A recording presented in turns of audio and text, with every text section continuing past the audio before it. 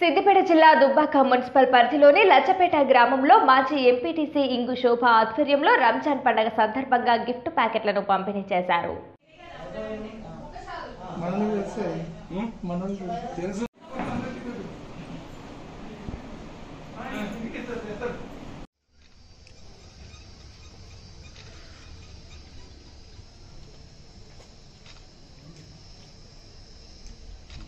ఇంకా. రాసుకో.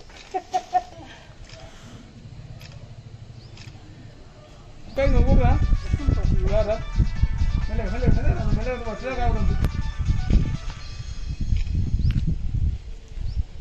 మాట్లాడమన్నా ఇక ఒక దాత ఒక నాయకుడు. మా లచ్చపేట గ్రామంలో రంజాన్ సమయంలో బట్టల పంపిణీ చేస్తుండేవాడు.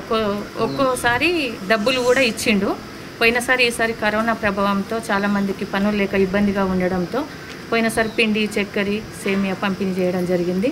ఈసారి కూడా ప్రతిసారి లాగా అడగడంతో కాదనలేక ఇబ్బందికరంగా ఉన్నా కూడా ఈసారి బియ్యము సేమియా చక్కెర పంపిణీ చేస్తున్నారు. అతనికి ఎప్పుడు భగవంతుడు ఆయుర ఆరోగ్యాలు ఇవ్వాలని కోరుకుంటూ మా లచ్చపేట గ్రామం తరఫున అతనికి కృతజ్ఞతలు తెలుపుకుంటున్నాం.